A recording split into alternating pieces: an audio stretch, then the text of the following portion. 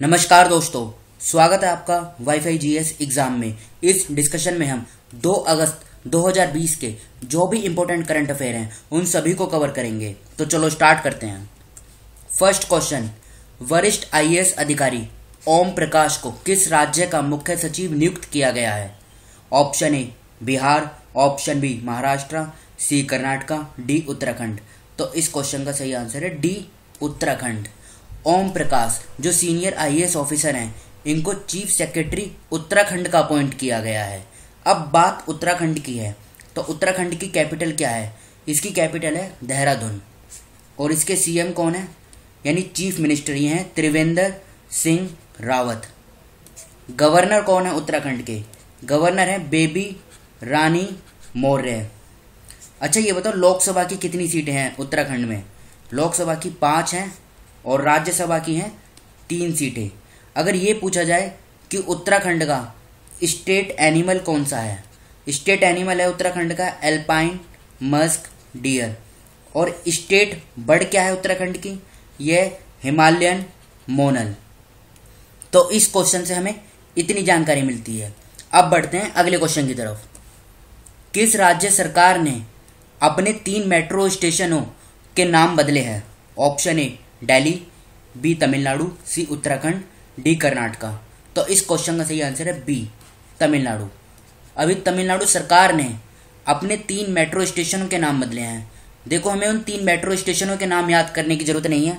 बस इतना याद रखिए कि ये जो तीन मेट्रो स्टेशनों के नाम बदले गए हैं, ये तमिलनाडु में बदले गए हैं। अब तमिलनाडु के बारे में कुछ इंपॉर्टेंट इन्फॉर्मेशन देख लेते हैं। ये देखिए आप, ये तमिलनाडु का मैप है साउथ इंडिया में। तमिलनाडु की कैपिटल क्या है? यह है चेन्नई। और इसके आसपास के राज्य है। कर्नाटका, आंध्र प्रदेश, केरला। इनके साथ इसकी बाउंड्री टच होती है। देखो यहाँ पे लिखा हुआ है। कर्नाटका, आंध्र प्रदेश और केरला। अच्छा तमिलनाडु के पास जो कोस्ट है, इसे किस नाम से जाना जाना जाता है? तो यह है कोरोमंडल कोस्ट ये देखिए। और केरला के पास जो कोस्ट है, यह मालाबार कोस्ट याद रखेगा। और गल्फ ऑफ़ मन्नार की खाड़ी, ये यहाँ पर है। एग्ज़ाम में ये पूछा जाता है अक्सर कि गल्फ ऑफ़ मन्नार की खाड़ी किस राज्य के पास है? तो ये तमिलनाडु के पास है। ये पाक स्टेट है बीच में, जो इन दोनों को सेपरेट करती है, श्रीलंका और इंडिया को। तमिलनाडु के सीएम कौन है? Edappadi K Palani Swami governor Banwari Lal Purohit, chief justice Amreshwar Pratap Shahi. ये कुछ नेशनल पार्क हैं तमिलनाडु के। इनके आप नोट्स बना लीजिएगा इंपोर्टेंट हैं। तमिलनाडु में जिलों की संख्या कितनी है? अड़तीस। लोकसभा की उनतालीस सीटें हैं, राज्यसभा की अठारह और विधानसभा की दो सीटें हैं। अब बढ़ते हैं अगले क्वेश्चन की तरफ़। एस एन राजेश्वरी को ओरिएंटल इंश्योरेंस कंपनी लिमिटेड का अध्यक्ष, सह प्रबंध निदेशक नियुक्त किया गया है। इसका हेडक्वार्टर कहाँ पर है? ये बताइए। क्वेश्चन में ये पूछा है। Option A new Delhi B Patna C Noida या डी कोची तो इस क्वेश्चन का सही आंसर है A oriental insurance company limited का जो हेडक्वार्टर है, ये न्यू दिल्ली में है। अब बात ओरिएंटल इंश्योरेंस कंपनी लिमिटेड की है, ये है क्या? देखो, ये public sector general insurance company है मतलब सार्वजनिक क्षेत्र की सामान्य बीमा कंपनी है। हेडक्वार्टर तो इसका न्यू दिल्ली में है। इसे फाउंड कब किया गया था? इसे इस्टाब्लिश किया गया था 12 सितंबर 1947 को। कहाँ पर? मुंबई में। और मुंबई महाराष्ट्र में है। और इसके फाउंडर कौन है? सॉरी चेयरमैन और एमडी चेयरमैन और एमडी हैं इसके दिनेश वाघेला फिर से बोलता हूँ, Dinesh Vaghela oriental insurance company limited के चेयरमैन और एमडी हैं। इस क्वेश्चन से हमें इतनी जानकारी मिलती है। बढ़ते हैं अगले क्वेश्चन की तरफ़। शिकागो विश्वविद्यालय के ऊर्जा नीति संस्थान द्वारा मूल्यांकन के अनुसार कौन सा देश विश्व में सबसे अधिक प्रदूषित है, देश है? Option A, India, B, Bangladesh, C, USA, D, China. तो इस क्वेश्चन का सही आंसर है बी, बांग्लादेश। बांग्लादेश शिकागो विश्वविद्यालय के ऊर्जा नीति संस्थान द्वारा मूल्यांकन के अनुसार विश्व में सबसे अधिक प्रदूषित देश है। बांग्लादेश फ़र्स्ट नंबर पे है। तो दूसरे पे कौन सा है? दूसरे पे है अपना देश, भारत, इंडिया। याद रखेगा अब बात बांग्लादेश की है। बांग्लादेश की कैपिटल क्या है? कैपिटल है ढाका। और ढाका में ही बिम्स्टेक का हेडक्वार्टर भी है। ये एग्ज़ाम में पूछा जाता है कि बिम्स्टेक जो ऑर्गेनाइजेशन है, इसका हेडक्वार्टर कहाँ पर है? तो ये बांग्लादेश के ढाका में है। और इसकी करेंसी क्या है? बांग्लादेशी टका। बांग्लादेश के प्रेसिडेंट कौन है? ये बताइए, राष्ट्रपति। ये है अब्दुल हामिद। और यहाँ के प्रधानमंत्री कौन है? प्रधानमंत्री हैं शेख हसीना। अच्छा ये पूछा जाए कि बांग्लादेश का नेशनल स्पोर्ट क्या है? अगर ये है नेशनल स्पोर्ट तो आंसर होगा कबड्डी।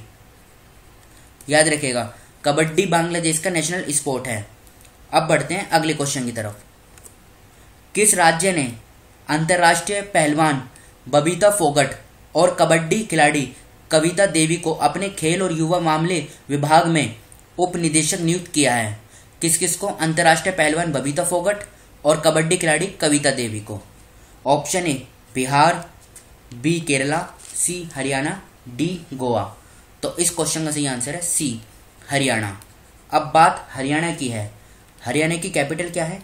चंडीगढ़। और सीएम कौन है? यहाँ के मुख्यमंत्री हैं मनोहर लाल खट्टर। गवर्नर, राज्यपाल कौन है हरियाणा के? ये हैं सत्यदेव नारायण आर्य। अच्छा ये पूछा जाए कि हरियाणा के चीफ जस्टिस कौन है? देखो, हरियाणा और पंजाब की एक कॉमन हाई कोर्ट है। वो चंडीगढ़ में बेस्ड है। तो उसके चीफ जस्टिस हैं रविशंकर झा। रविशंकर झा, नाम याद रखेगा लोकसभा की कितनी सीटें हैं हरियाणा में?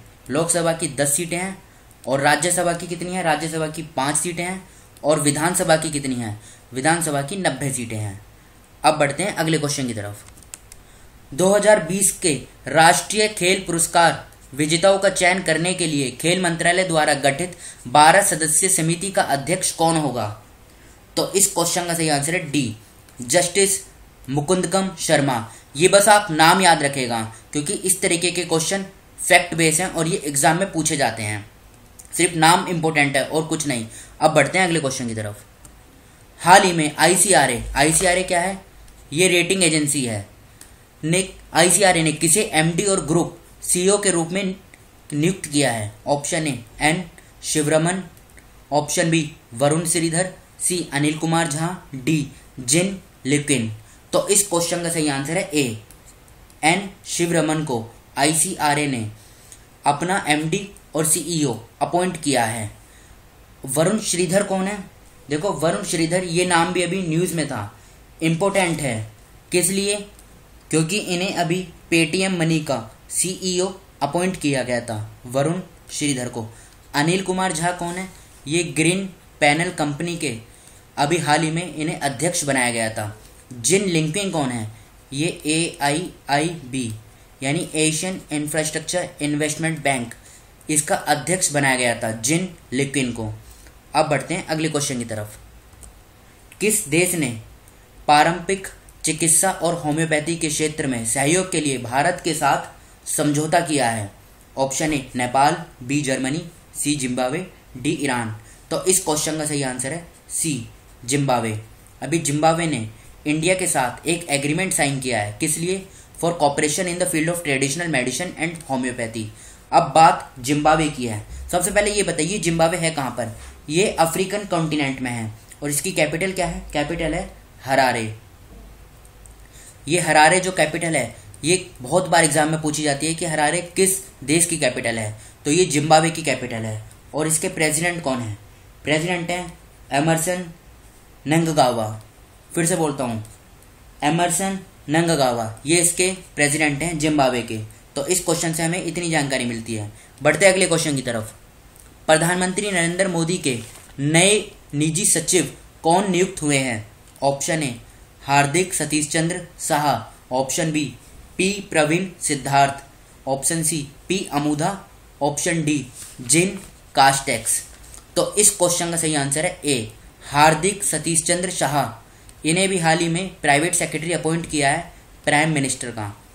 पी प्रवीण सिद्धार्थ, ये कौन है? पी प्रवीण सिद्धार्थ, ये नाम भी बहुत इंपॉर्टेंट है। ये कौन है? ये प्राइवेट सेक्रेटरी हैं किसके? ये प्राइवेट सेक्रेटरी अपॉइंट किए गए थे प्रेसिडेंट के, प्रेसिडेंट रामनाथ कोविंद जी के। जीन कास्टेक्स कौन है? इन्हें अभी रिसेंटली फ्रांस का प्रधानमंत्री अपॉइंट किया गया था। और पी अमुधा ये कौन पी अमूधा को प्रधानमंत्री कार्यालय में संयुक्त सचिव अपॉइंट किया गया था। मतलब joint secretary in prime minister's office याद रखेगा। तो आज के इस डिस्कशन को हम यहीं पर रोकते हैं। जो स्टूडेंट नए हैं, वो इस चैनल को सब्सक्राइब कर लीजिए। Thank you